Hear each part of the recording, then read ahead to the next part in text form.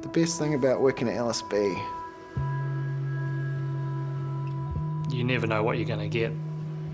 The next job, it could be anything from a Polynesian sailing canoe to a uh, super yacht tender.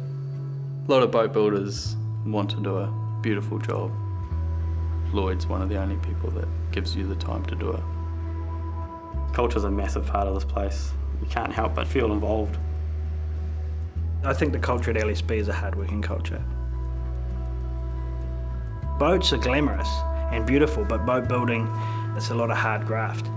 You've got to really want it to do it. I've been here for 15 years, so something's going right. We've got a great bunch of guys, a really constructive working environment. There's a lot of respect shown.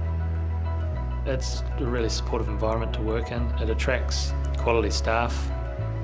We're all good mates. The, the relationships out on the floor are really good. It's really good to come to work in that sort of an environment. You can broaden your knowledge and your skills drastically. If you do have the drive to sort of work your way up, then there's definitely that opportunity. You've just got to go out and take it.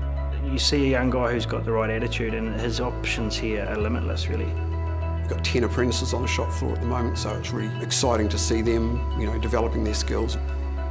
What's required of you often surpasses what's written down in any job description. Everything's a challenge, and that's part of what attracts me to boat building. Some of the super yacht tenders that we built recently are so out of the box and different that people could go their whole life as a boat builder and never get an opportunity to build something quite as spectacular.